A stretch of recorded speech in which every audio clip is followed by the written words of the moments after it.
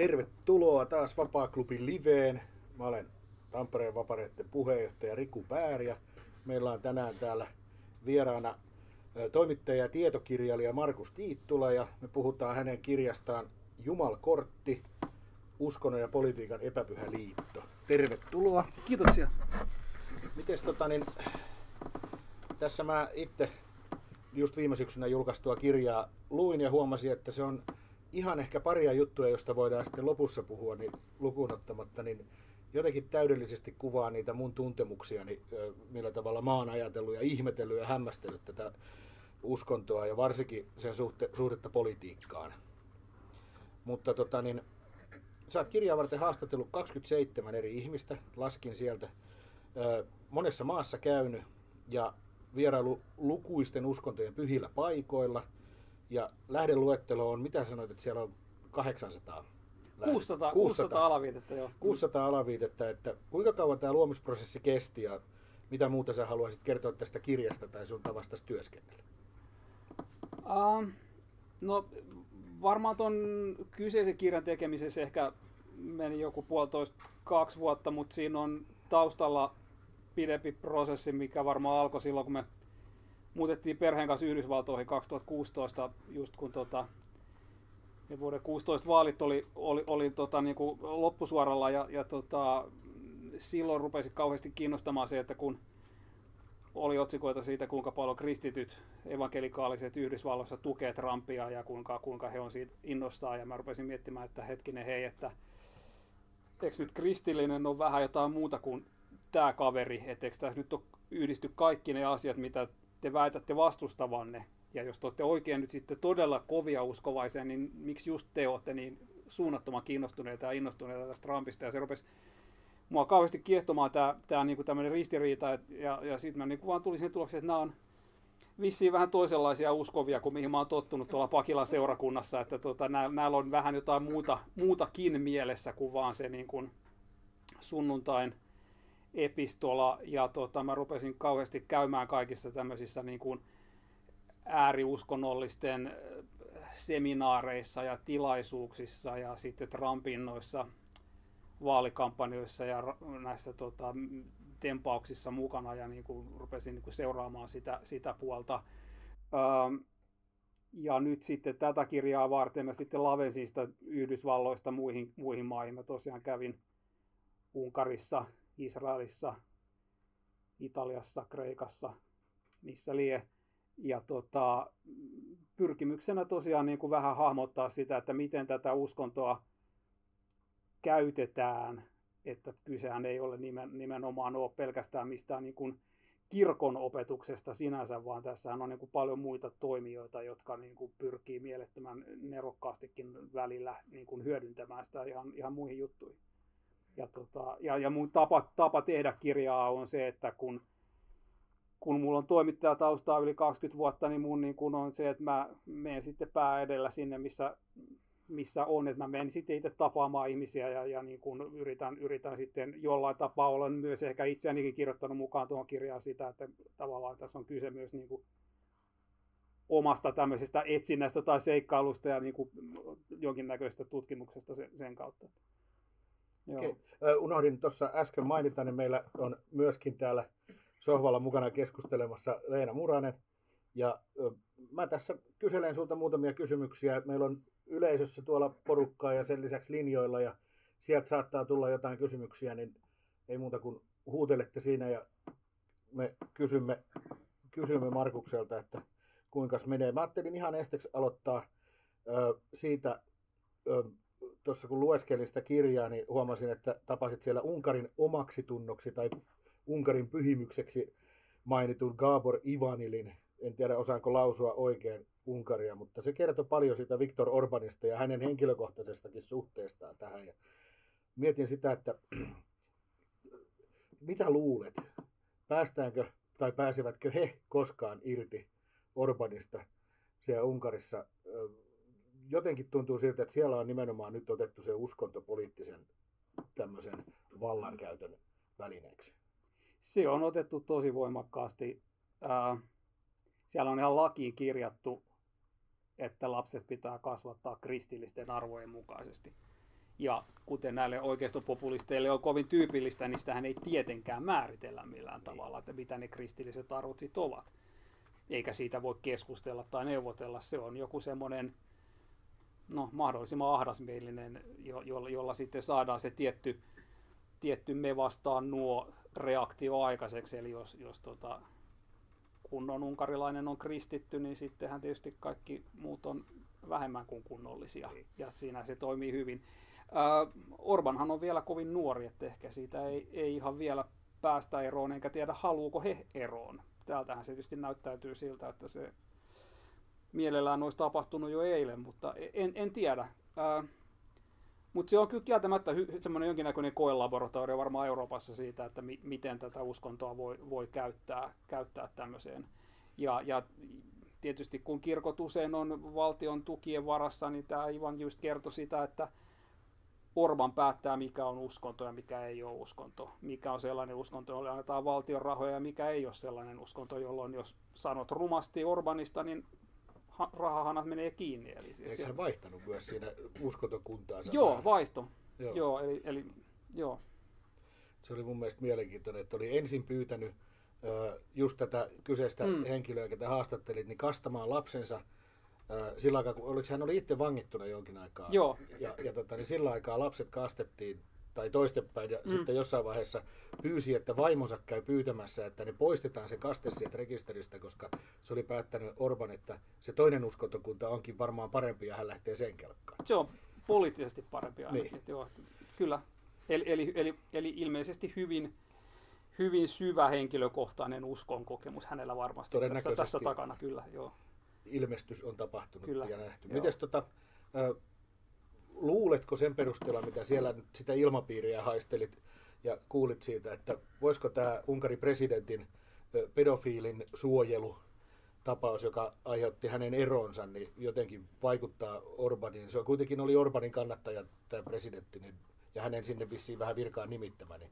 Joo, oli, oli nimittämä kyllä. Tota, Vaikea sanoa, kyllähän tuommoiset tietysti kyllähän varmaan jonkun verran vaikuttaa, eihän sitä nyt voi kokonaan lakasta pois, mutta, tota, mutta yllättävän paljonhan näitä vastaavia keissejä on, on, on niin kuin näissä piireissä siedetty sit kuitenkin ja selitetty pois. Vatikaania myöten. Niin. Äh, mutta se on vaan jännä, jännä että nämä, nämä, just nämä kyseiset hahmot, niin hehän on ollut, niin kuin, tämä presidentti esimerkiksi, niin on ollut, ollut nimenomaan mm, luomassa sitä kulttuuria ja sitä, sitä niin kuin koneistoa, jossa tämä kristinusko on nostettu niin kuin jalustalle ja, ja sitä on pidetty poliittisesti esillä. Että se on tietysti niin kuin, tekopyhäähän se tietysti on, mutta, mutta en, en, en osaa sanoa, miten se nyt sitten jatkossa vaikuttaa. Siellähän ilmeisesti joku yhdysvaltalainen järjestö taitaa tota, niin, jollakin tavalla taustalla myöskin pyöriä, vaikuttaa ja rahoittaa jotakin asioita.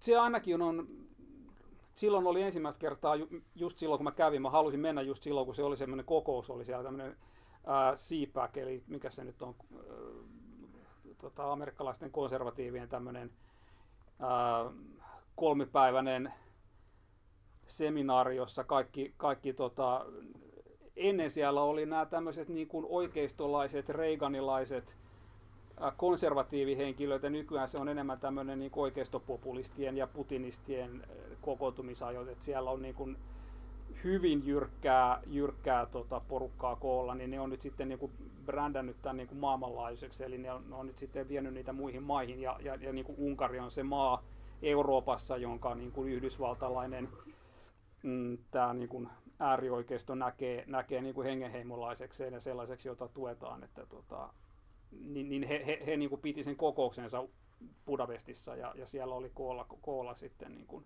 Toimittajat ei päässyt paikalle. Toimittajat ei päässyt paikalle, joo. Se oli, tota, Orban oli päättänyt lopulta, että sinne ei yhtään toimittajaa päästetä, paitsi, paitsi ne, ketkä osaa kysyä kivoja kysymyksiä. Niin, että, tota, tota, mutta, mutta joo, et, ei, ei niitä, jotka tekee fake newsia. Joo, ei, ei, ei, ei tota, et sen mä, mä, mä, mä, mä, mä, mä, kattelin, mä kattelin hotellihuoneesta striimiä. Se oli musta myös niin mielenkiintoinen, mikä, mikä liittyy tuohon mediahallintaan, että tota, niitä, ei, niinku, niitä puheitahan ei sinänsä pe, niinku, piilotella eikä peitellä eikä niitä puheita, mutta, mutta vaan sinne niinku, saliin ei pääse. Niin. Eli ehkä siinä on, halutaan luoda se semmoinen kupla, että siellä ei voi kysyä mitään vastakysymyksiä, että niin. ne voi mohota siellä omissa mehuissaan ja sinne ei niin kuin kukaan tule kysymään mitään ikävää. En tiedä, onko niilläkin sama kuin joskus entisessä Neuvostoliitossa taisi olla, että kaikki oli noin 15 minuutin viiveellä tai jotain, että jos suorassa lähetyksessä tapahtui jotain, niin se saatiin poistettua sieltä. Mites tota, ää, nyt tavallaan sinne, jos menee Yhdysvaltoihin, niin siellä on nyt äärioikeisto on ottanut ton nimenomaan nyt semmoisen radikaalin kristinuskon tai semmoisen aika fundamentalistisen näkemyksen siitä omaksensa, niin mitäs luulet, voidaanko me nähdä todellisuudessa tämmöinen Handmaid's Tale tyyppinen teokraattinen, ainakin niin kuin jossain tietyssä osavaltiossa tai jotain vastaavaa? Yritys on kova. On, on siellä jengiä, paljon jengiä, jotka todella haluaa sitä. Se on, ja, ja semmoinen niin kuin viisi vuotta sitten, kymmenen vuotta sitten osalta ihan naurettava ajatus, että, että, että niin kuin niin. dystoppinen novelli ja TV-sarja joo, mutta ei tietenkään todellisuudessa, mutta että ne onnistu kumoamaan 50 vuotta vallassa olleen aborttilainsäädännön ja nythän ne republikaanit haluaisivat, että se olisi koko maanlaajuinen. Jos he saa vallan marraskuussa, niin ne todennäköisesti runtaa sen läpi, että kielletään koko maassa sehän on se edustajahuoneen uusi puhemies, se Mike Johnson, niin sehän on semmoinen, niin kuin, että eihän sellaista pystyisi käsikirjoittamaankaan, miten, miten niin kuin äärimmäinen se on. Sillähän on esimerkiksi poikansa kanssa sellainen joku nettiaplikaatio, mä en muista mikä sen nimi on, se on joku Covenant Eyes vissiin, joka on semmoinen, niin kuin, että ää, porno ja muu epäsiveellinen materiaali, niin jos kännykällä tai läppärillä käyttää, niin siitä lähtee, lähtee niin kuin signaali sun luottohenkilölle, joka saa tietää, että sä käytät tällaisia juttuja. Niin, niin. Ja hän, hän on 17-vuotiaan poikansa kanssa tehnyt niin kuin ristiin nämä hommat, että jos isi käyttää pornoa, niin poika tietää ja päinvastoin, mikä musta niin. ei ole ehkä ihan tervettä. ei. ei. Mut, mut, mut, tämä, Varsinkin tämä, jos hän käyttää sitä silti. Joo, joo. Mut, mut, ja, ja, ja sillä on nimesti semmoinen avioliitto myös, joka on tämmöinen niin kuin oikea avioliitto. Eli sitä, siitä, ei, siitä ei ole eroa. Et, et ne, ne, ne pyrkii saamaan sitä, että kun on liian lepsua, niin olisi niin kuin, niin kuin kunnollisia liittoja. Ja, ja Aito niin kuin, avioliitto, niin kuin Suomessakin on. Joo, tämä on, niin kuin, tämä on niin kuin sille tosiaito. et, et, et, et, mutta et sillä on niin todella paljon todella äärimmäisiä kantoja. Se on äärimmäisen vaarallinen ja ihmeellinen ihminen. Ja, tota, ja mä tosin niin kuin taisin sanoakin, mä saan ää, joka päivä Donald Trumpilta sähköpostiin vieläkin, kun mä kerran menin jokin kampanjatilaisuuteen varten rekisteröitymään, kun mä ajattelin, että sinne ei pääse sisään muuten. Nyt kun on vaalikiima päällä ja sillä niitä oikeudenkäyntejä, niin niitä viestejä saattaa tulla kymmenen päivässä.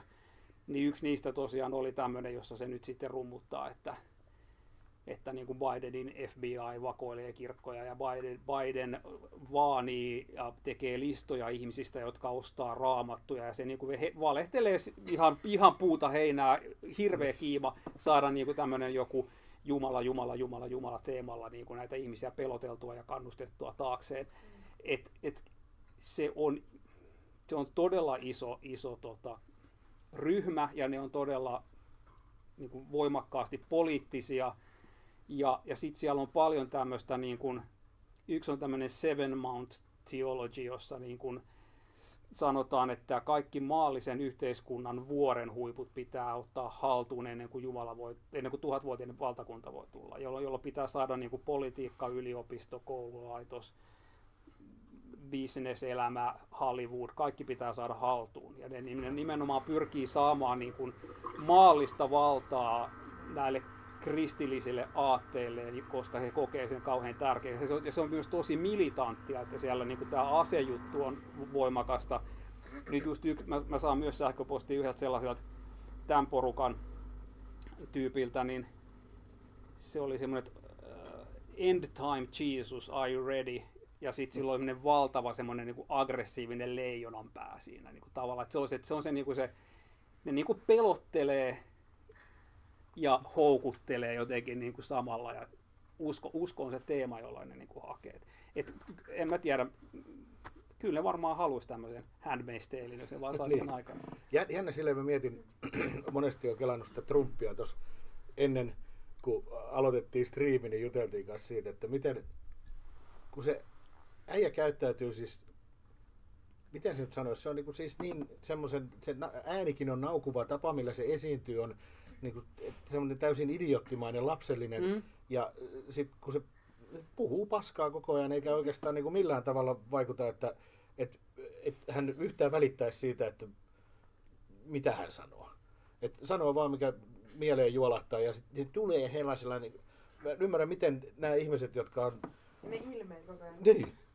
Miten ne voi niin kuin pitää siellä sitä kaveria sopivaksi presidentiksi? Se on hyvä kysymys. Se on, mä, mä en, en, en, osaa sanoa. En, en, en, siis olen täysin hämilläni tämän edessä. Mä olen tätä ihmetellyt kohta kahdeksan vuotta. Ja se Maga Jeesus oli myöskin sun, tota, oliko se edellinen kirja vai sitä? Sitä edellinen, sitä, jo, joo. joo. Joka oli just tavallaan yrit, yritys vastata vähän tähän, siis yhdysvaltalaista kristillistä nationalismia. Ää, joo, se on jännä sitten Trumpsin simias, että se niin kuin, se valittaa niin paljon ja uhriutuu niin paljon, että se, sitä on niin kuin kauhean vaikea mun esimerkiksi pitää miehekkäänä. Niin. Ja kuitenkin se on se rooli, sitä ilmeisesti jotenkin pidetään. En tiedä, riittääkö se sitten tämä asento ja joku, joku niin kuin pornotähtien kanssa pe- pe- pelaaminen, mutta tota, ja, ja just se, että jos nyt ajattelee, että yhdysvaltalainen oikeisto, konservatiivit, kuinka ne on niin kuin ihailu Reagania vaikka, joka nyt sitten oli tämmöinen niin kuin kylmän sodan voittaja ja, ja kuinka, kuinka ollaan menty sitten jonnekin tota, Berliiniin sanomaan, että repikää tämä muuri alas ja niin. tämmöistä. Niin nyt täällä on niinku kaveri, joka on siihen, että hei Putin, do what the hell you want, niin. hyökkää NATO-maihin. Ja niin kuin itse asiassa mä rakastan tota Kim Jong-unia tuolla Pohjois-Koreassa. että tavallaan se voi puhua tällaisia. Ja sitten tämä jengi vaan niinku hurraa ja on se, että et, et, iha, ihana mies. Niin mä, mä, mä en ymmärrä. Mutta mä, mä väittäisin, että tuolla to, to, tuolla uskontokulmalla on yllättävän iso merkitys, koska, koska eihän uskonnoskaan pelata millään faktoilla, vaan pelataan niin kuin mielikuvilla ja illuusioilla ja ajatuksilla. Ja, ja niin kuin, ää, se, mitä nämä on opetettu pelkäämään katsomalla Fox Newsia ja kuuntelemalla Trumpia ja sen kavereita, niin on se, että valkoinen kristitty heteromies menettäisi asemiaan. Ja niin. silloin se, se voi menettää sen, jos tulee rajan yli porukkaa, tai jos naiset saa valtaa, tai jos seksuaalivähemmistöt saa valtaa, tai kuka tahansa muu, kun just tämä sama henkilö, joka sattumalta on kristillisessä maailmankuvassa, niin. se niin kuin top dog, joka, joka niin kuin päättää kaiken, niin se niin kuin yllättävän nätisti sitten taas on linjassa sen kanssa, että jos sanotaan, että me halutaan takaisin takaisin, huomatkaa takaisin kristillinen Amerikka. Sellaista ei tietenkään koskaan ollut, mutta me halutaan se takaisin, koska se kuulostaa paremmalta kuin se, että me nyt on keksitty se päästämme. Niin, niin sehän on just sitä, että, että me halutaan, oikeasti me tarkoitetaan, että me halutaan, että tämä valkoinen heteromies on, on, on niin kuin siellä huipulla. Ja että muutenkin mennään ajassa siis taakse, niin, se on aika niin. tyypillistä mm. oikeasti että kaivataan sitä niin sanotusti 50-lukua, että, että niin Joo. kaikki palaa taas paikoilleen ja niin kuin pelätään tätä mu- suurta muutosta, mikä on niin kuin kiihtynyt koko ajan. Niin, vähän sama kuin Suomesta palataan yhtenäiskulttuuriin, mitä ei meilläkään koskaan niin, oikeastaan niin, ollut. mutta se Frank Sinatra... siinä on niin kuin keskiössä, että, ja niin. sitä lietsumalla saa varmasti niin kuin ihmisiä taakse. Että semmoinen vastareaktiohan se varmaan on niin kuin tätä muutosta niin. vastaan, että halutaan niin kuin palauttaa asiat. Frank Sinatrahan onnistui siinä se teki, äh, ennen, se, hän ei ollut mennyt mihinkään, mutta sitten ne teki comebackin ja The Old Blue Eyes is back. Ja se on niin kuin hauska sinällään se, että ei, ei se ollut mennyt mihinkään, mutta ne ajattelivat, että kokeillaan tällaista ja sehän toimi. Mm. Sen jälkeen oltiin maailmantähtiä. Tuossa on puhuttu nyt ö, ulkomaista, niin puhutaanpa Suomesta pienellä ehkä tota, niin Yhdysvalta semmoisella twistillä. Ö, nimittäin tota, niin, Päivi Räsäsestä. Joo. Ja se, että häntäkin haastattelit kirjaasi varten ja tota, siellä oli mielenkiintoisia kantoja, mitä häneltä löytyi ja kysyit häneltä vähän vaikeita kysymyksiä. Mitä luulet, oliko äh, tota niin, Räsänen ovela tavallaan siinä, että hän äh, kun oli puhunut siitä, että, että otetaan tavallaan niin kuin se, mikä on syntiä, häpeä, ylpeyden aiheeksi, joka oli siis se lause, mistä tavallaan hän oli syytteessä, niin hän lisäsi siihen sitten näitä raamatun kohtia niin, että voidaan sanoa, että koska tämä on minun uskoni, niin ei minua voi tästä tuomita. Vai oliko se ihan sitten sattumaa? No toisen nahko on ihan kauhean vaikea päästä, mutta mä ehkä uskoisin, että Räsänen on kuitenkin näissä kannoissa aika poikkeuksellisen aitoja niin kuin siinä mielessä suoraan, että, että on niitä nyt sit ihan mitä mieltä tahansa, niin mä en jaksa ehkä uskoa, että hän näitä niin kuin mielipiteitään on niin kuin tehnyt taktisesti tai, tai niin kuin jotenkin niin kuin muovannut niitä, mutta si, sitä mä en sitten taas tiedä, että kuinka paljon joku tämä häntä tukenut niin. ADF-järjestö, joka, joka, jo, jolla on tämmöisiä niin kuin muita uskonvapauskeissejä kymmenittäin, jos katsoo niiden nettisivuja, niin, niin niillähän on koko aika käynnissä iso kasa tämmöisiä kampanjoita, joissa ne niin kuin rummuttaa tätä omaa ideologiaansa ja sitten sanoo, että antakaa meille rahaa, koska me puolustetaan uskoa. Niin heillä on voinut, he, en tiedä, mä en edes tiedä, miten, miten taas on lähtenyt liikkeelle, kuka on ollut kehenkin yhteydessä, mutta ADFn toimintaan olisi aivan tyypillistä, että he näkisivät tällaisen keissin ja sitten he olisi silleen, että hei, tuossa on meille sauma, niin. ollaan yhteydessä Räsäseen ja tullaan pu- tukemaan häntä ja myös samalla käytetään häntä. Se olisi ihan loogista, mutta mulla ei tähän ole niin kuin kyllä ää, niin kuin sinänsä mitään todisteita tai niin. mitään sellaista, että mä tietäisin, miten tämä on mennyt. Ainakin, ainakin nämä sekä kotimaiset että sitten ulkomaiset, varsinkin niin kuin yhdysvaltalaiset, niin se on se retoriikka on hyvin sama. Eli just tuossa, mistä aikaisemmin sanoit, että se niin kuin palautetaan valkoinen heteromies valtaan, jonka se on menettänyt. Ja, ja just se, että kaikki sellainen, joka nyt ajatellaan, että olisi muuta kuin tätä, eli se, että hyväksytään, tai siis miten voisi sanoa, että arvostetaan ihmisten valintaa esimerkiksi abortin suhteen, tai arvostetaan ihmisten seksuaalisuutta ja sitä, että, että niin kuin jokainen saa olla millainen haluaa, niin niin se on jotenkin ihan kamalaa ja sellaista me ei missään tapauksessa voida sallia. Enkä puhu meistä nyt niin, mm. että itse tässä valkoisena mm. heteromiehenä keski-ikäisenä, keskivartalo lihavana ja mitä kaikkea muuta. Niin, niin tota, mitäs toi ö, tuli mieleen, että sehän on hauska, mä oon, tota, luin siellä kirjassa, sä puhuit tuosta abortin kohdalla siitä, että ö, raamatussahan on se yksi kohta, jossa nimenomaan ö, aviorikoksen kautta tämmöistä niin kuin, että naiselle, joka on tehnyt aviorikoksen, että toisen kanssa naimisissa oleva nainen on mennyt säheltämään jonkun toisen kanssa, niin sille ö, juotettiin, mitä se olikaan? Kirovettä. Kirovettä, Joo. joka tota, niin lähdetti siinä samalla sitten myöskin mahdollisesti sikiö, jos semmoinen oli sattunut aikaan saatua. Ja siellä on niin kuin periaatteessa kuvaus raamatussa siitä, kuinka tämmöisessä tapauksessa abortti olisikin sitten ihan ok, mutta ilmeisesti tota, niin Räsäselle sekään ei varmaan sitten olisi.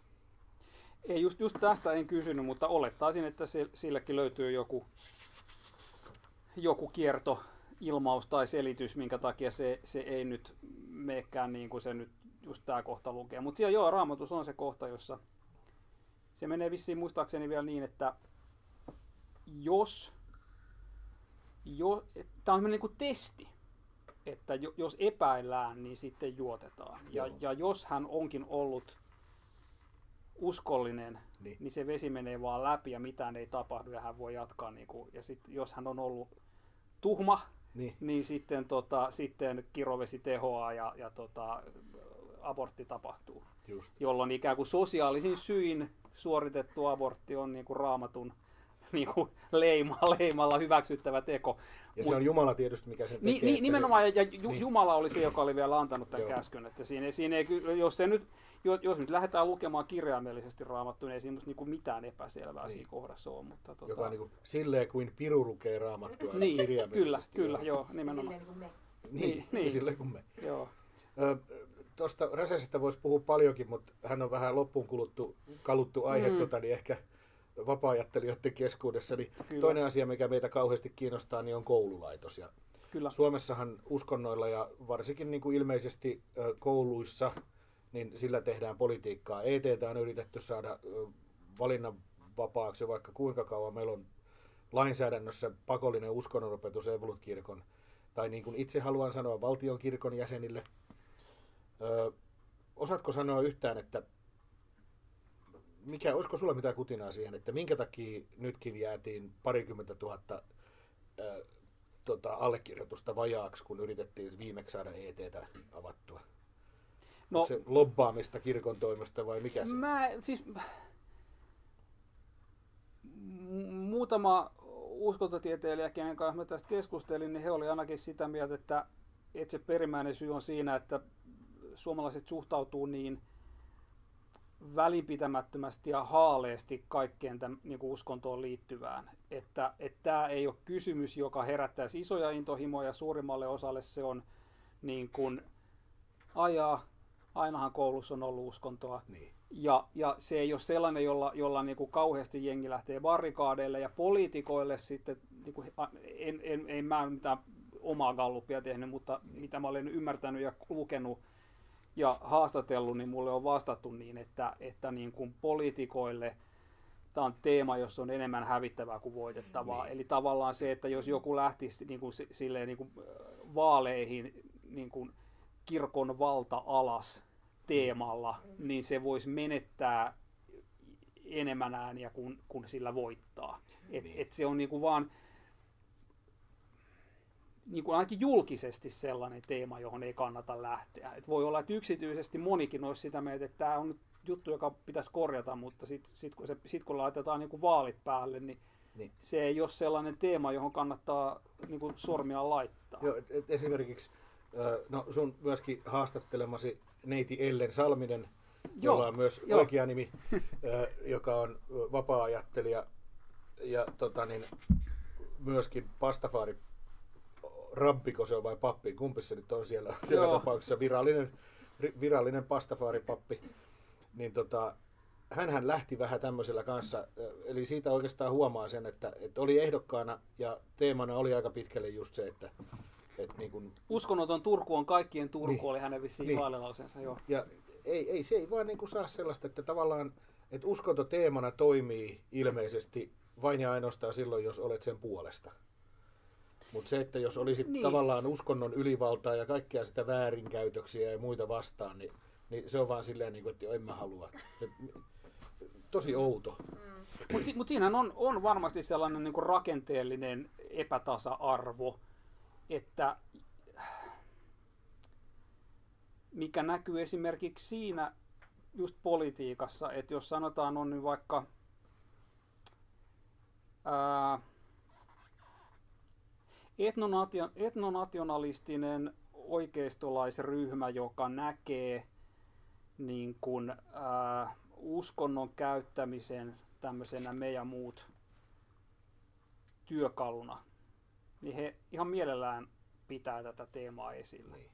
Sitten jos sulla on vasemmistolaishumanistinen ryhmä, joka haluaisi mielellään sellaisen maailman, jossa tätä teemaa ei julkisuudessa tarvitsisi käsitellä ja se ei vaikuttaisi politiikkaan ja se ei olisi mitenkään kauhean keskeinen, niin ei he halua sitten myöskään niinku raamittaa sitä keskustelua ja mennä sinne areenalle ja niinku jau, jauhaa ja jauhaa ja jauhaa siitä, jolloin se jää pelkästään sen toisen puolen käyttöön. Niin se on, siis...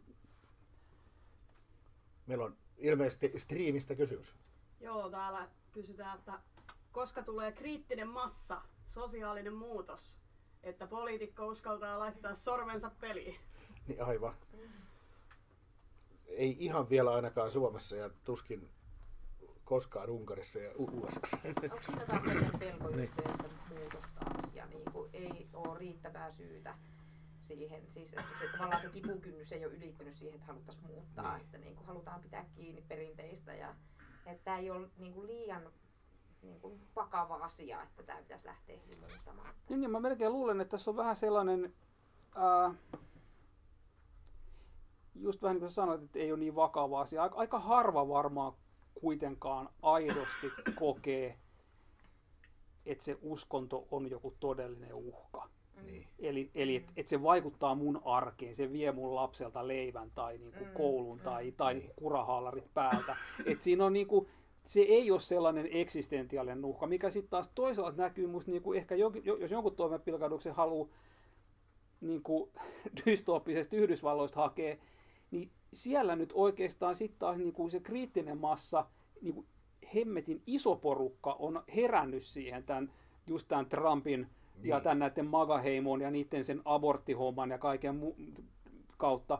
Että siellä on nyt niin kuin todella iso määrä ihmisiä, jotka on niin kuin mobilisoitunut ja lähtenyt liikkeelle ja ikään kuin vastustamaan tätä. Siellä on ollut esimerkiksi osavaltiotasolla niin kuin kansanäänestyksiä aborttioikeudesta nyt, kun se tota, kun ne kumosi sen korkeimman oikeuden päätöksen, jolla ikään kuin kaikilla oli aborttioikeus. Niin nyt osavaltiot saa päättää itse, niin nyt ne osavaltio kerrallaan on pitänyt kansanäänestyksiä. Niin aborttioikeushan on voittanut käytännössä ne kaikki, koska siellä on nyt sitten niin kuin nuoret naiset, vasemmistolaiset on lähtenyt liikkeelle ja tajunnut sen, että hei, meidän pitää oikeasti niin kuin puolustaa mm, mm. oikeuksia, että nämä, nämä tyypit ihan oikeasti tekee niin, meille niin. Niin kuin vahinkoa. Niin. Niin, niin, niin, niin, niin, että se niin, niin, niin, niin, niin silloin ikään kuin, tä, voihan se olla, että pitää, pitää mennä tosi syvälle mm. ennen kuin sitten se uhka on niin kova, että et, et se saa, saa aikaa vastareaktioita. Jotenkin konkreettisesti kokea niin. se uhkana. Et nyt kumminkin, niin kuin sanoit tuossa, että, että on enemmän hävittävää kuin voitettavaa sillä, että lähtisi semmoiselle uskonnon vastaiselle mm. linjalle politiikassa. Mm.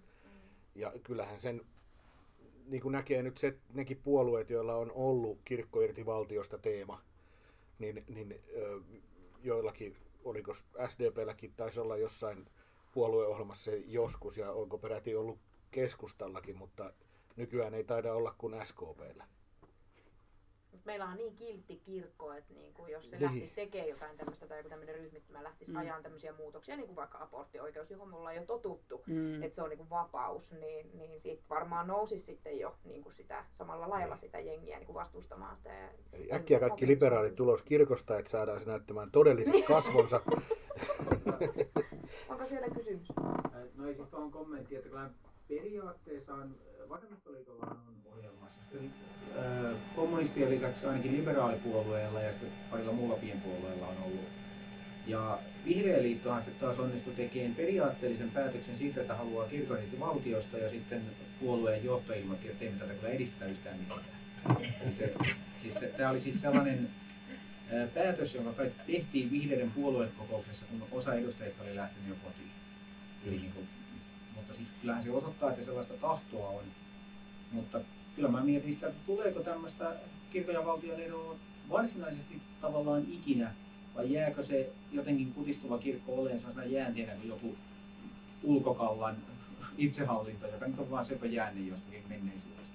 En mä tiedä. Sitten niin ortodoksi kirkkokin niin kuuluu vajaa prosentti suomalaisia ja sillä on verotusoikeus ja niin alle. Mä oon itse miettinyt sellaista, että miten, voisiko se meillä on kuitenkin täällä semmoinen tapa, että meillä edelleen noin puolet lapsista kastetaan, mutta nyt koulussa olevista on huomattavasti paljon suurempi osa aikoinaan kastettu. Ja Suomessa lain mukaan silloin liitetään kirkon jäseneksi ja erota saat vasta kun 18, okei vanhemman luvalla jo 15-vuotiaana, mutta se, että tästä johtuva sitten se pakkouskonnon opetus, siis se, että, että ei voi valita mitään muuta kuin sen uskonnon opetuksen, joka ei kuitenkaan ole ihan täysin sitouttamatonta, niin voisiko se vaikuttaa niin paljon siihen yleiseen mielipiteeseen, mitä meillä suurimmalla osalla on? Että tavallaan on, on koulussa jo oppinut sen, että kyllähän se kirkko nyt tekee paljon hyvää. Mulla on, nyt mun pitäisi muistaa paremmin, mulla on tuossa kirjasta, että olisiko se Charles Davidin sitaatti, joka on suurin piirtein siihen suuntaan, että kun koulussa opetetaan, niin käy vähän niin kuin apinalle, joka aina pelkää käärmettä sen jälkeen tai jotain sinne päin. Että tavallaan että niin. se niin kuin iskostuu se mm. joku tietty, tietty, tietty malli. Uh, ehkä, onhan se ainakin siis, uh, usk, mä luin muutamia alaasteen uskonnokirjoja luin tota varten. Niin onhan se nyt sellaista söpöilyä, että niin kuin, uh, kaikki kiva on uskonnosta käsin ja, ja, niin kuin, ja sinne niin kuin, uskonnon kirjoihinhan, niin kuin, alasteen kirjoihin ympätään kaikkea semmoista, että miten olet kiva kaveri ja niin kuin, miten, miten, miten kaikki, kaikki hyvät asiat syntyy. Ja sitten tätä opetetaan uskonnon tunnilla ja uskonnon kehyksessä, niin varmaan se vaikuttaa. Saa nyt aika hardcore seitsemänvuotias ateisti olla, joka niinku sen, se, se, se matskun käy läpi ja on silleen, että hyi helvetti, onpas tämä muuten kamalaa tavaraa tämä niin. uskonto. Et totta, Siihen on ympätty tosiaan. Tämä koskee oikeasti sitä raamattua. Niin, niin mutta mut sitten, niin, ehkä. Ja, ja, ja sitten onhan se jotenkin vähän niin kuin ongelmallista just se oma, oma uskonto. Eihän se, siis se, se sitouttamaton on semmoinen jännä sana, koska sehän ei ole mikään virallinen määritelmä. Siis niin. sehän on oman, o, oman uskonnon opetus on se, niin. mitä siellä tehdään. Joka on oletusarvoinen ä, ajatus siitä, että tavan vuoksi suomalaiset tapakristityt vanhemmat, jotka ei käy koskaan kirkossa eikä rukoile, hmm. ja hädituskin ehkä uskoo johonkin, jos siihenkään, niin ö, sitten sen takia lapselle opetetaan evankelistorilaista uskontoa omana uskontona. Niin, niin kyllä. Joo, ja, ja, ja sehän on, niin kuin, no, se oli, taisi olla toi uskontotieteilijä Tuomas Äystö, joka se mulle sanoi, joka tuossa kirjassa on, on tavallaan se niin kuin karikatyyri esimerkki siitä, että no entäs jos tämä sama tehtäisiin vaikka, että kun on paljon erilaisia uskontoja, ja sitten päätetään, että seitsemänvuotiaalla on oma uskonto, niin. jota opetetaan. Niin entäs jos sama tehtäisiin niin, että kun on paljon poliittisia aatteita, ja perheillä on erilaisia, poli- oletetaan, että koko perhe on sitten sama. Että jos sulla on demariperhe ja kokoomuslainen perhe, niin entäs yhteiskunta oppi? Niin. Että laitetaan demarilapset yhteen luokkaan ja kepulaiset yhteen luokkaan, perussuomalaiset yhteen luokkaan, ja sitten opetetaan, että miten se yhteiskunta toimii. Niin. Se toimii niin kuin teidän perheessä on ollut tapana opettaa, niin. jolloin sitten niin kuin ikään kuin, että kaikki hyvä ja kaunis tulee alkiolaisesta aatteesta ja sitten toisessa luokesta eipäs, kun se on devariudesta johtuu kaikki hyvä.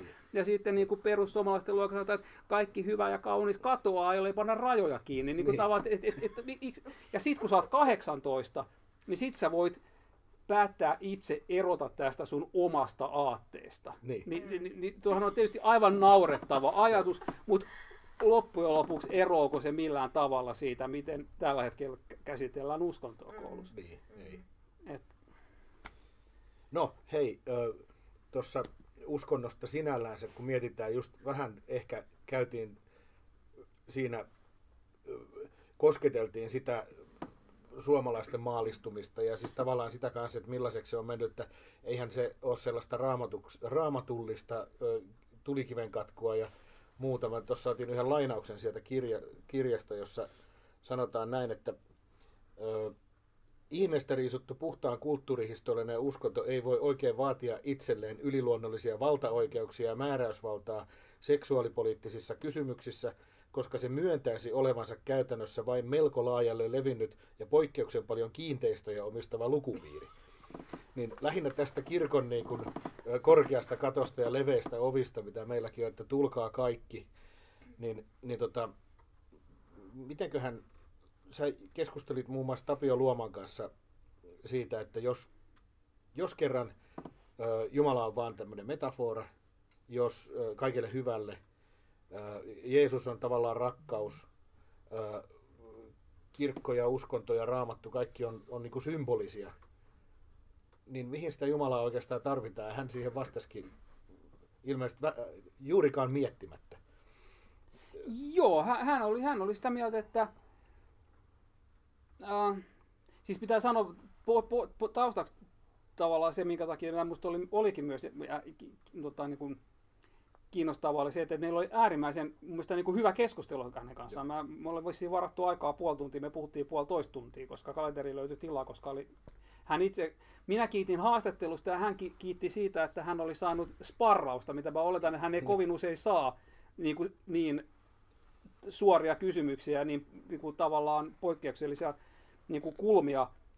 Mutta siis tämä oli musta kiinnostava siis siitä, si, siinä mielessä, että me oltiin tosi monesta niin kuin yhteiskunnallisesta kysymyksestä samaa mieltä ja tosi monesta niin kuin tämmöisestä niin kuin siitä, että miten kirkon pitäisi toimia yhteiskunnassa ja näin samaa mieltä. Mutta tämä oli semmoinen, että hei, että eikö nyt sitten, jos niin saadaan niin kuin moraali ylös ja niin kuin hyvät asiat voimaan, niin mikä se Jumalan rooli sitten on, niin hän oli jotenkin vähän niin kuin sitä mieltä, että et, mutta sittenhän meillä olisi vaan jonkinnäköinen niin kuin versio kultaisesta säännöstä. Eikö se ole? Ja mä, mä olin vähän silleen, että onko joku, onko tämä ongelma? Niin. Niin hänen mielestään se oli ongelma siinä mielessä, että me ei toteutettaisi sitä, että vaan tämä yliluonnollinen aspekti, vaan tämä Jumala tuo sen motivaation siihen. Vai niin? Et, et, se, et se tuo sen klangin siihen, että, että sitten, niin kun, sitten meillä olisi joku syy toimia sen kultaisen säädön mukaisesti. Mikä minusta on sinänsä myös vähän niin kuin jännä. Että sittenhän on, voisi vähän ajatella, että on, onko sitten niin kuin riviuskovainen vähän niin kuin sellainen rottweileri tiukassa hihnassa, että heti, heti, heti jos sen päästäisi irti, niin sitten mentäisiin niin kuin, raatelemaan pikkulapsia. Niin. Että tavallaan, että et, ei, ei, tuleeko se todella vaan siitä niin kuin Jumalan pelosta, se nätisti käyttäytyminen, niin. joka niin kuin mun mielestä taas on tosi ulkokultaista. Rangaistuksen pelosta. Niin, että et se, on, niin kuin, se, on, se on jännä. Tai palkkion toivosta. Niin, niin, että, niin, palk, niin palkkio, palkkio taivaasta, se niin. on tietysti niin. niin. Mutta Kyllä. se on, se on jännä. Joo, toi on siinä mielessä mielenkiintoinen kanssa, että jos mietitään sit just sitä, että mikä se palkkio on ja mikä se rangaistus on ja miettii, että mistä kaikista teosta se tulee, niin äh, sä, keskustelu, sä oot keskustellut hyvinkin paljon äh, erilaisten, eri tavalla uskovien ja uskomattomien ihmisten kanssa, mutta koetko sä, että se raamatun ristiriitojen osoittaminen jollekin uskovaiselle, että onko se mielekästä? Että sanoa, että miten sä voit uskoa, kun tuolla sanotaan noin, mutta sitten taas tuolla sanotaan noin. No se on siis mielekästä kenen kannalta, ei se ainakaan palkitsevaa ole. Niin. et, et, tota, Aika harva sitä kokonaan lukenut. Niin, mutta mut siis... Niin, mä en oikein tiedä. Siis jo, jollain tasolla mä haluaisin uskoa sellaiseen niin kuin sen sortin rationaalisuuteen, että, että kaikista asioista voitaisiin keskustella jotenkin mielekkäästi. Että, että tämä olisi vain yksi sellainen asia, josta uskonnosta, sen dogmeista voitaisiin niin kuin, ne voitaisiin lyödä pöydälle ja niistä voitaisiin käydä keskustelua. Mut se on niin kuin, tuntuu olevan melkein semmoinen niin kuin poikkeus kaikkien muiden aatteiden ja, ja filosofioiden ja niin kuin muiden joukossa, jossa tämä jotenkin vaan niin kuin ei toimi, ei niin. käy, ei ole kohteliasta. Mm. Se on niin kuin erityisesti uskonnon suhteen. Millään muulla ideologialla ei ole tällaista suojaa. Että me niin. voimme ihan mm.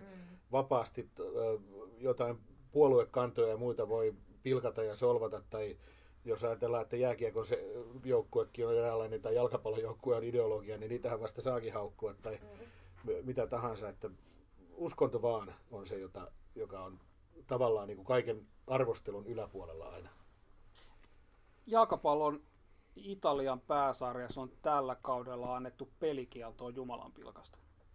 No Italiassa on aika paljon tapa, eikö siellä saa liikenteessäkin sakkoja? Joo, jos... saa, mutta mut, mut tosiaan siellä on niinku oikeasti siis niinku, äh, videotuomarit käynyt, katsonut, huulilta lukenut, että oli, oli jumalapilkkainen kirosana oli ollut jollain topparilla jossain pahasta tilanteessa, niin saa pelikieltoa. Et, et, et, et, lausuttu herran nimi. Oli, niin. oli, oli, oli, kyllä. Että et, et tavallaan semmoinen, että et mi, mi, mikä muu kategoria niin. 2000-luvulla tai no ikinä kun pääsee tuolle tasolle. Niin se on ehkä semmoinen, mikä pitäisi, no I have a dream. Niin. niin kuin, että se pitäisi voida purkaa jotenkin. Että niin. pitäisi niin kuin, tavallaan demystifioida se, että, että, että totta kai saa uskoa. Mutta sitten niin kuin heti, jos tulee niin kuin sille kentälle, että minä uskon, joten sinun pitää. Niin totta... jos olisi sanonut siinä, että en mä tarkoittanut sitä Jumalaa. Niin. niin, niin, no, no, niin, se olisi ollut aika, niin en tiedä mitä olisi, että mä, mä, tota, mä puhuin... Thor oli mielessä.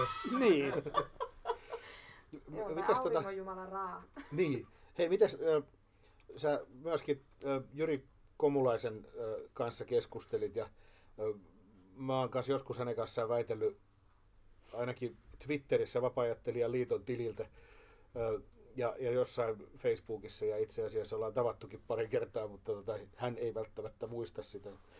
Mutta tota, mä aina ajattelen häntä semmoisena tietynlaisena uskonsoturina, koska hänellä on hyvin selkeät vaatimukset siitä, että sellainen ihminen, joka on niin sanotusti vannoutunut ateisti tai on, määrittelee itsensä ateistiksi, niin, niin sen pitäisi olla myöskin lukenut filosofiaa. Mä oon kuullut tämän monelta muultakin, eli pitäisi olla lukenut ateismin historiasta ja sen filosofiasta ja pitäisi olla perehtynyt teologiaan, että tietäisi minkä kieltää. Okei. Okay. Ja mä oon niin miettinyt sitä, että onko sulla siihen, siihen jotain semmoista niin hyvää comebackia, että, että miten voisi sanoa, että, että ei kai mun nyt tarvitse tietää kaikesta kaikkea, että mä voin sanoa, että en tiedä, mutta en ainakaan usko. Mm. uh, no vaikka se, että, tota, että se, että en pelaa tennistä, ei ole harrastus. Niin. Eli siis tavallaan se, että en, en mä tiedä niin kuin... Kalju ei ole hiusten väriä. Niin, mutta mut, mut, mut, tavallaan to, toihan on musta se, se, se et, et, olen myös törmännyt siihen, että, että, niin kuin, että se ateismi ei riitä, vaan sun pitäisi kertoa, mikä se ateismin filosofia on, tai mikä niin. se ateismin ratkaisu tähän on, että meillä on tämä, mikä se sun mm. on. Et tavallaan, et, et, Voidaan verrata niitä. Niin, jolloin, jolloin et, et, et, mutta mut silloinhan raamitetaan muista se keskustelu totta kai ihan väärin, mutta niin. en, en, mä, en mä tiedä. Vähän sama kuin tämä kanssa, että jos te vaaditte, että pitäisi lopettaa tämän tota, niin seurakuntien ylläpitämät hautausmaat, niin siitä sitten vaan järjestämään. Ja sitten se on hauska, kun sanoo, että no kyllä ateiste, vapaa-ajattelijoilla on monia hautausmaita ympäri Suomea. Sitten on aina silleen, että ai on vai. mutta tota, mehän ei saada niihin mitään valtion tukea. Mutta se, ö, joo. Mutta niin Komulaisella sama... oli mun mielestä niin. mulle sellainen, tota, mikä musta oli hieman kummallinen, vähän samanlainen. Siis mä, hänen kanssaan mulla oli äärimmäisen niin kuin, kohtelias ja ystävällinen oh, ja mu- mukava kes- keskustelutuokio ja meillä oli äärimmäisen, niin kuin päästiin syvälle, istuimme keittiössämme ja keskustelimme asioista. Oli, oli, oli mukavaa. Uh, mutta musta oli niin kuin hämmentävää ehkä vähän se, kun hän sanoi sitä, että kun, että kun hänellä on raamattu, niin se on semmoinen keskustelukumppani, johon hän voi aina vedota ja hän voi aina tulla siihen takaisin ja se niin kuin tavallaan paaluttaa hänelle asioita. Niin. Et mikä on ateistille tämä tällainen niin, niin kuin niin. tavallaan teos. Ja sitten kun mä olisin, että ei mikään ja onneksi ei ole, että niin. se on niin kuin hyvä niin, niin hän olisi, että eikö toi ole vähän niin kuin tyhjän päällä nyt sitten. Että niin. hänelle se oli niin kuin ongelma, mm. se, niin että, että, että sitä ei ole sitä sellaista. Ja sitten kun mä yritin niin kuin tavallaan sanoa sit sitä, että mut miten me voidaan mm, keskustella moraalista, etiikasta ja elämän niin kuin pyhyydestä ja syvistä kysymyksistä avoimesti, jos niiden johtopäätösten pitää aina pystyä keriytymään takaisin siihen raamattuun. Nehän on jo päätetty. Eihän, niin. niitä, eihän niitä voi silloin, eihän, eihän, eihän meillä ole mitään niin kuin liikkumatilaa tässä meidän keskustelussa, jos niin. sulla on ne jo paalutettu tohon. Niin, raamatus sanotaan näin, joten äh, niin. sen täytyy olla totta, koska raamatus sanotaan näin. niin, mu, niin, niin tämä oli semmoinen vaan, ei me päästy siitä yli, ja me päästy siitä eteenpäin, ei se, ei se mennyt mihinkään. Mun mielestä se oli vaan niinku, se on jännä kuitenkin, koska nämä on, hänkin ja moni muu ää, kaltaisensa on kuitenkin niin kuin äärimmäisen lukenut ja tavallaan niin. monella tapaa äärimmäisen älykäs ja fiksu ja niin kuin verbaalisesti lahjakas ja kaikkea muuta, niin sitten on niin tämmöisiä tiettyjä aukkokohtia, jotka vaan niin kuin silleen tulee että anteeksi mitä. Niin. Että et, tavallaan se ei niin kuin millään tavalla niin kuin kättele. Musta niin kuin, ehkä se uskonto vaan sit on semmoinen palikka, jonka, jonka kohdalla vaan niin. tulee niitä törmäyksiä, koska se, se, sitä ei voi niin kuin, se, se, ei, se ei taivu. Sellaiseen argumentointiin millään tavalla. Ja lisäksi sitä ei saa kyseenalaistaa, että mä joskus mm. sanoin kouluvierailullakin, että vaikea on olla ateisti, että sun täytyy hirveästi ymmärtää maailmasta, miten se toimii ja selittää kaikki, että miten kaikki toimii, niin. koska uskovaisen selitys on vaan se, että God made it. Niin. Et, et, niin kuin, sitten sun täytyy ymmärtää, et, jotta sä pystyisit niin tämmöistä jotain väittelyä käymään. Selitä, mistä elämän, sy- niin, mistä elämä tämä syntyy. universumi syntyy ja sun pitää niin. tietää kaikki fysiikan lait ja mekaniikat. Ja mä, että se ei niin kuin riitä, että se haastetaan niin jatkuvasti se, että ei usko vaan. Että mulla vaan puuttuu se usko. Niin. Et sun, sulla pitää olla joku niinku selitys sille, että miksi se usko puuttuu. Ja niin. just tämä, että se teologia täytyisi ymmärtää, että ja syötte, tietää kun... mitä niinku, jättää uskomatta. Niin se on vähän hassua. Niinku. Joo, pitäisi olla kosmologia ja kaikkea niin. mahdollista. Mites, tota, se on, se, mä oon ehkä huomannut sitä, että ihminen, jolle uskonto kuitenkin on hirveän iso asia elämässä, niin se ei pysty käsittämään sitä, että se ateismi ei ole niin kuin, tavallaan sen vastakohta mitä hän ajattelee siitä uskonnosta, vaan se on oikeastaan just niin päin, että ateismi on sellaisen vaan niin kuin poissaolo, eli siis se ei ole mikään maailmankatsomus. Se olisi aika kurjaa, mm. jos jonkun maailmankatsomus olisi pelkästään se, että se ei usko Jumalaan. Et kun miettii, että ei, siinä ei ole niin mitään sisältöä, siinä on yksi tämmöinen toteamus. Joku on sanonut, että Jumala on olemassa ja en mä usko. Mm, niin kuin harrastuksena se, että ei pelaa tennistä. Niin. Niin. Tai niin kuin mun yksi harrastus, joka kuulemma on myöskin muuten se, että mä en seuraa jalk- jalkapalloa enkä jääkiekkoa. Et, tota, niin voidaan keskustella siitä myöhemmin.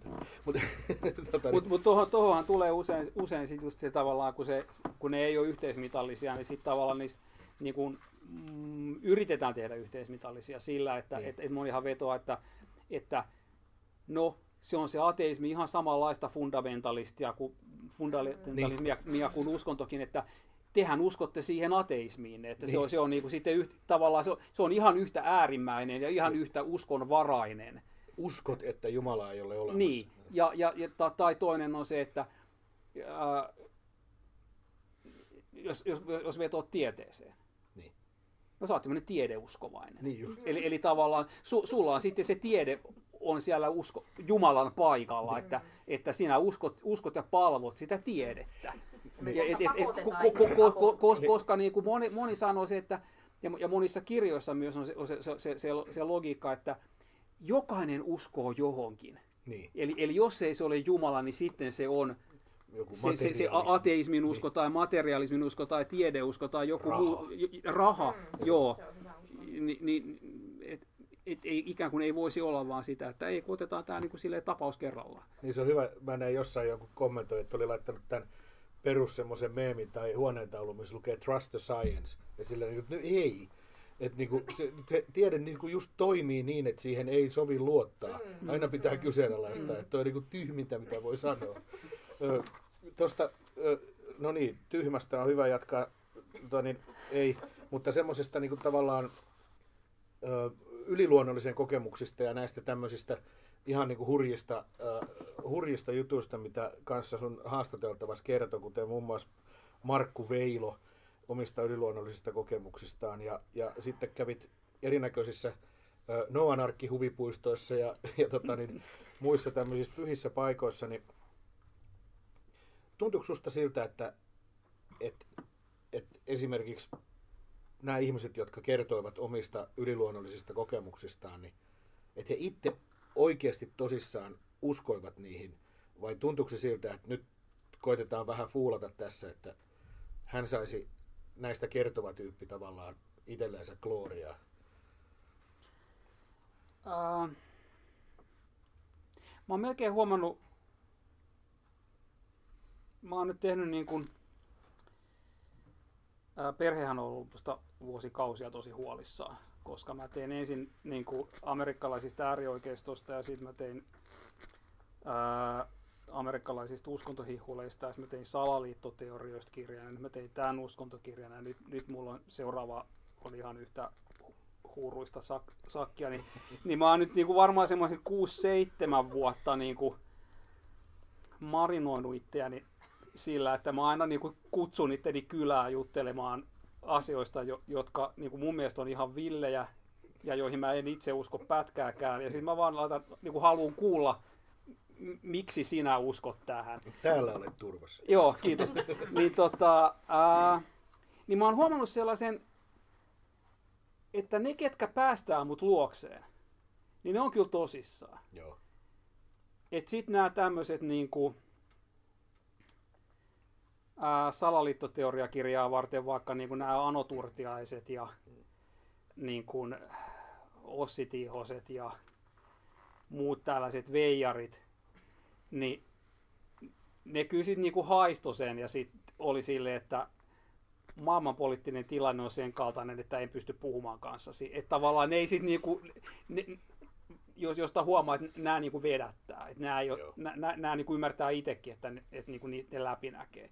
Että kyllä, kyllä mä niin kuin melkein olisin sitä mieltä, että ää, ei mun tarvitse fiktiokirjoja kirjoittaa varmaan ikinä. Kyllä mä luulen, että tästä maailmasta löytyy, löytyy niin kuin kerrottavaa ja nämä ihmiset on kyllä ihan tosissaan. Että tota, joo, kyllä, kyllä ne, ja, ja, niin kuin, ja, ja, ja, ja ehkä, ehkä sen takia, tämä on myös yksi syy, minkä takia mä uskon esimerkiksi siihen, että Päivi Räsänen ei ole millään tavalla niin kuin feikki siinä, niin. mitä hän tekee, koska hän äärimmäisen ystävällisesti soitti mulle aina takaisin, jos, mä olin, hän, jos hän oli ollut jossain esimerkiksi eduskunnan NATO-äänestyksessä eikä just silloin kerinyt puhumaan mun kanssa Jeesuksesta, niin hän soitti heti perään ja hän niin. jutteli mun kanssa, niin kuin, et, et, hän, niin kuin tavallaan jos hän ajattelisi, että tässä on nyt joku huonosti, niin totta kai hän niin kuin jättäisi vastaamatta, ei, ei, niin. ei, ei, niin kuin, ei, ei, ei, ei juttelisi, mutta kun hän on uskoo, niin hän haluaa varmasti levittää tätä sanomaa.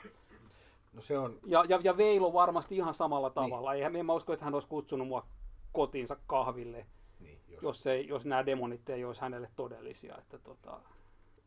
Ositaanhan siinä nyt varmaan tietyt mielenterveyden ö, häiriöt saattaa aiheuttaa ihmisen luulemaan jotakin. Sitten myöskin kaikenlaiset vahvistusharhat ja muut. Mm-hmm. Siis se, että että menet johonkin tilanteeseen valmiiksi olettaen, että siinä tulee olemaan jotain yliluonnollista, niin eiköhän sieltä yliluonnollista löydy. Mutta mut, tota, niin, se on kyllä, onko meillä Kysymys siellä? tai kommentti?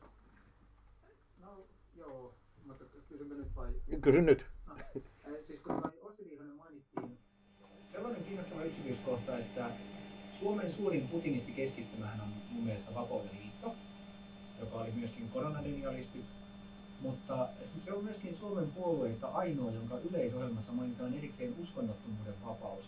Ja siellä myöskin lukee, että tota, kirkko ja uskonto ovat osa yhteiskuntaa, mutta niiden kautta ei tule ohjata yhteiskunnan lakien tulkintaa ja laadintaa. Eli on, kiinnostaa se, että kokeeko ehkä Suomessa osa tämmöistä uskonnollista oikeistoa kuitenkin luterilaisen vastustajaksi pikemminkin, vaikka sitten luterilaisen kirkon sisällä on Päivi Räsänen? Kyllä, joo. Äh, Tämä on minusta sellainen, mikä ehkä usein jääkin vähän niin kuin vähälle huomiolle on tavallaan se, että eihän useinkaan uskonnon käyttämisessä se aktiivisesti toimija ole kirkko, vaan ne on ihan jotkut muut. Esimerkiksi Jenkeissä nämä äärioikeistolaiset Trumpin tukijat, Suomessa vaikka perussuomalaiset tai muut oikeistolaiset, jotka näkee siinä, no siis meidän kristillinen kulttuurimmehan on erittäin hieno niin kuin eufemismi sille, että no mikäs on se vastakohta. No ne on ne muslimit, jotka on niin kuin ei-kristillisiä, ei-valkoisia, jotenkin ei-sopivia. Niin sehän on sellainen, niin kuin mitä he käyttää. Ja, ja niin kuin esimerkiksi joku Laura Huhtasaari, twiittaa, että kristillinen kirkko on jäänyt perkeleen saartamaksi, vai mikä perkeleen pettämäksi, vai mitä se nyt oli. Ja, ja niin kuin hän, hän niin kuin hy, hyvin voimakkaasti sanoi, että no tuossa mun kirjassakin, että mitä me, mitä me tehdään punavihreillä kirkolla, joka ei usko mihinkään, ja mitä me tehdään sellaisilla niin kuin, pastoreilla, jotka ei usko edes Jeesukseen, ja niin kuin tavallaan, että nehän haluaa mennä niin kuin oikealta ohjaa lujaa ja ottaa sen niin kuin krist, kristinuskon semmoiseen käyttöön, mikä, minkä ne voi muovata just siihen, mitä, mikä sopii heidän siihen poliittiseen ideologiaan. Et, et, et, et nimenomaan voisin kuvitella, että jotkut nämä pienpuolueet tai, tai, tai ääri, ääriryhmät, niin niillähän voi olla oikeinkin hyvä, hyvä niin kuin synkka siihen, että miten, miten sitä voisi käyttää. Todennäköisesti jos ne menee kysymään niin kuin kirkollisilta auktoriteeteilta, niin ne ei ole mistään samaa mieltä. Niin. Mutta ne, voi, ne voi silti sanoa, että tä, sama, sama, samalla asiallahan tässä mukaan ollaan. Kristillinen arvopohja. Niin, se, no, se, niin, no se on... Kymmenen käskyä. Niin, niin. mutta m- m- tämä on just sellainen, mistä, mistä on ihan, ihan, ihan niin mahdotonta käydä mitään keskustelua. Niin. Mitkä on kristilliset arvot? No kymmenen käskyä on hyvä. Se käy ne kirjassa mun mielestä seikkaperäisesti läpi. Äh, lähinnä silleen, niin kuin, että ei niistä oikeastaan mikään ole kovin hyvä. Ei olekaan. Et, et siellä niin jos ajatellaan, että ehkä niin kuin älä varasta ja älä tapa on sellaisia. Ja sitten se yksi, joka olisi, niin kuin, jos se olisi, että älä valehtele. Mutta sekin kanssa vähän, että no, voisiko esimerkiksi valehdella suojellakseen jotain toista ja niin edespäin. Että, ja voitko, kun varsinkin se, että kun raamattu, joka sanoo, että älä tapa, niin sitten taas, okei, okay, se on kyllä ihan just toistepäin, mitä siellä aika paljon tapahtuu. Mm-hmm. Siis niin, siellä niin, syntyy niin. Niinku ruumista puoleen ja toiseen ihan Ää, niin, no se on se yksi tutkija on laskenut, että 1,2 miljoonaa ihmistä tapetaan raamatussa. niin. Ni, niin se, että sit niinku, että älä tapa. Mutta se älä tee niin kuin minä teen, vaan niin kuin minä niin. sanon. Ta, ta, ta, ta, tai niin kuin jo lähtee siitä, että ää, raamatun version mukaan Mooses saa sen kivitaulun jossa on ne käskyt. Ja sitten se kävelee sieltä vuorelta alas, sillä on kainalossa se kivitaulu. Ja sitten se pääsee sinne lähtöpaikkaan ja sillä aikaa, kun hän on ollut poissa siellä vuorella, niin on palvottu kultaista vasikkaa, niin hän saa raivokohtauksia ja määrää tapettavaksi kaikki. Ja, ja niin kuin sen jälkeen pitää, omat perheenjäsenetkin pitää tappaa, kaikki pitää tappaa, ketkä tulee vastaan, ja miehet menee miekkojen kanssa kylän päästä päähän aamusta iltaan, ja 3000 miestä tapetaan sen päivän aikana. Ja siellä on kainalossa se taulu, mikä se just sai Jumalalta, missä lukee, että älä tapa. Niin sille, että okei, okay, mutta niinku, et, et, et miten voidaan sitten sanoa, että joo, mutta kun ne kristityt on just niitä, ketkä ei tapa, ja kun ne, ne tosiaan ne no, nouda, niin kuin tavallaan, eihän si, mitä merkitystä semmoisia käskylauseista niin kuin, sinä ensimmäisenä päivänäkään noudatettu pätkääkään. Niin tavallaan kuitenkin, kuitenkin no meillä on niin yhteiskunnassa niin kuin sellainen niin kuin mieliala ja sellainen, että annetaan loputtomasti siimaa, että annetaan niin kuin kristityille vaikka niin kuin se älä tapa niin. ajatus. Että kun se, et, et, et, mitä niissä kymmenessä käskyssä on? No on siellä ainakin siellä tosi paljon kaikkea hyvää, niin kuin just se, että et älä tapa. Niin. Niin, no mitä muuta? Niin. mut, mut, mut Minä en, olen Jumala. En, mikä on rangaistuksena siitä, jos tappaa jonkun? Niin. Ei siitä Varmaan tapetaan. Tapetaan niin. niin, niin, niin, ja siellähän tapetaan siis, niin kuin, äh, jos hakkaa polttopuita sunnuntaina, niin tapetaan. Jos, jos, jos, jos sanoo ikävästi vanhemmille, niin, niin tapetaan. tapetaan. Ja jos niin kuin on aviorikos, niin tapetaan. Ja niin kuin, no varmuuden melkein mikä vaan, niin, niin tapetaan. Jos, jos hiukan edes, miten se oli, että mä en nyt muista miten se että jos oot jo jos katselet sillä silmällä jotakin, joo, joo. nimenomaan mies katselee naista, koska siis kaikkihan on siis silleen, että nainen on raamatussakin vain objekti jolle tapahtuu asioita tai miehet tekevät asioita, mutta että se, että niin jos vaan siinä vähän vilkasetkin, niin onko siinä joko silmää rivittävä irti tai sitten mielessä sä olet jo tehnyt huorin ja mikä siitä huorin tekemisestä taas olikaan se rangaistus, mm. eli tapetaan. Ta- Mutta mut, mut, siis toi on musta hyvä niin kun hu- huomio tai, tai niin jän, jännä huomio se, että että niin kuin kuinka paljon vapauksia annetaan siihen, että kristityt voi itse määrä, määritellä sen, millaisia he on. Et, et kun mehän ollaan tämmöisiä, me, meillä on tämä korkea moraali ja meillä on nämä hyvät säännöt ja niin kuin tavallaan, että täällä, täällä meillähän ei tehdä mitään ikävyyksiä. Mitenkään. Et, et, et tavallaan se, että mik, miksi semmoinen 2000-luvulla on niin vo, voimakkaasti elossa, niin mä en oikein, mä oikein tiedä. Se on, se on, luulisin, että se jotenkin... Se on hyvin spinnattu. Niin, ja, ja, sit, ja, ja, ja edelleenkään sitä ei niin kuin, jos sä haastat sitä, niin sä oot epäkohtelias, koska niin. se on toisen henkilökohtainen vakaumus, mikä on pyhä ja koskematon ja sellainen, mihin ei oikein saa koskea. Se on, niin jokainen uskonto on hyvä uskonto, parempi uskonto kuin mitkään muut uskonnot koskaan. Kyllä. Ja, ja, Lainatakseni Yhdysvaltain valitettavasti ehkä tuleva presidentti, en tiedä. Niin, niin mut, mut, mut niin, joka myös sanoi, että me ei haluta tänne sellaisia ihmisiä, kenellä ei ole meidän uskontoa. Niin. Eli, eli jos hänestä tulisi presidentti, niin hän on ilmoittanut käytännössä, että niin kuin, ää, ateistit tai muslimit tai buddhalaiset tai niin kuin pastafarit ei ole enää tervetulleita. Niin. M- m- mutta siis... Mitenköhän mormonien kanssa käy? Mutta mut, mut mormonithan on taas tota, se voisi mennä kyllä siihen meidän uskonnot kategoriaan, koska se on kuitenkin keksitty siellä. Niin. Hei, tota, me ollaan tunnin verran tässä juteltu. Mulla oli muutama kysymys, mitä jäi tähteeksi, niin voidaan jutella niistä vaikka sen jälkeen, kun kamerat on suljettu. Mutta tota, sen verran, että sä sanoit, että sä oot tekemässä uutta kirjaa. Meillä tuossa tuli yksi ehdotus siitä, että mikä olisi voinut olla sen aihe, mutta sä oot jo ilmeisesti aloittanut. Meillä oli tämmöinen ihmiskunta uskontojen uhrina oli, oli tota, niin, se ehkä sitten seuraavaksi, mutta mikä on sun seuraavan työsi no, otsikko?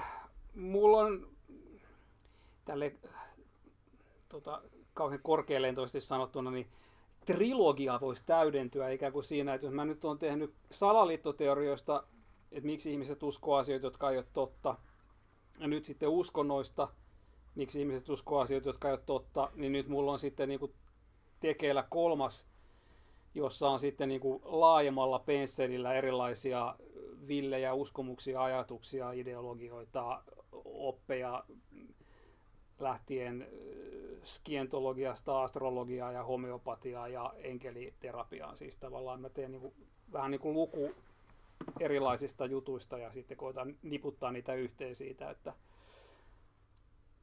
miksi aivomme ovat niin kovin elastiset. että, tota, koska ihminen hän kykenee uskomaan lähes mitä tahansa. Skientologiahan on USA uskonto. On, se on totta, mutta, mutta se, on, se on sen verran villiuskontoa ja, ja se, sillä ei ole, se ei ollut nyt tässä mukana, niin mä ajattelin, että se, se voi ottaa sinne. Tota. Mutta me kutsutaan sut sitten me tänne kutsutaan sut tänne Joo. sitten. Kirja löytyy ö, kaikista kirjakaupoista ja ö, tota, niin joistakin lukusovelluksista. Äänikirjakin on. On, on äänikirja. On. Martti Ranin lukemana oikein hyvä. On. Itse asiassa mu- minä jopa kuuntelin yhden luvun äänikirjana, kun polin kuntopyörää. kun Yleensä meillä on aina siitä väittely, kun mä en tykkää yhtään äänikirjoista. Tykkään lukea ne. Seuraava kerta on 23. ö, ja silloin puhutaan eutanasiasta, mutta kiitos kaikille, jotka ovat katselleet tätä suorana tai tallenteena.